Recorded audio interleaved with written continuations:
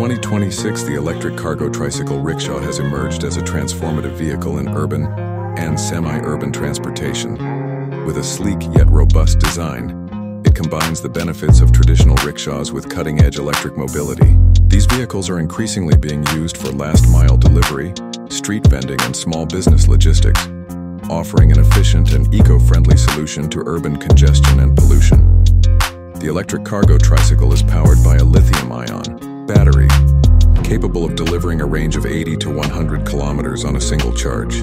Its electric motor provides sufficient torque to carry loads up to 500 kilograms, making it ideal for small-scale commercial deliveries. Charging infrastructure has seen significant growth, with solar-powered charging stations becoming more common, particularly in areas with limited grid access.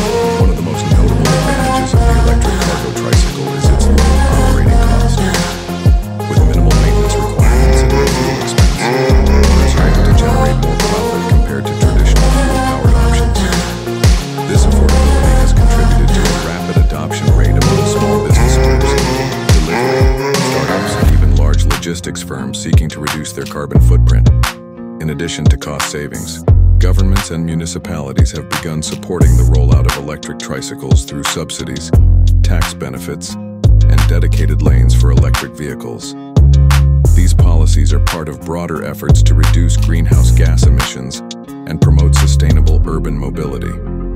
Some cities have implemented incentives such as free parking and reduced tolls for electric cargo rickshaws, further encouraging their use. Drivers and operators have also noted the ease of operation and comfort these vehicles provide. Many models now come equipped with digital dashboards, GPS tracking, and even app-based fleet management systems. Safety features,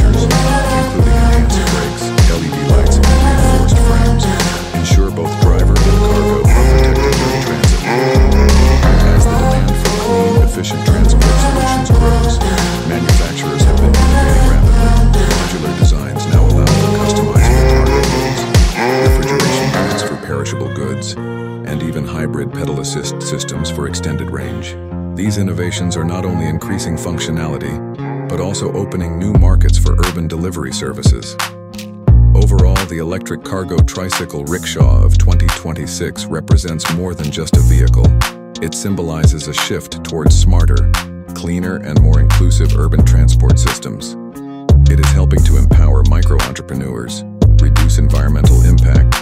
Reshape the future of small-scale logistics in cities around the world.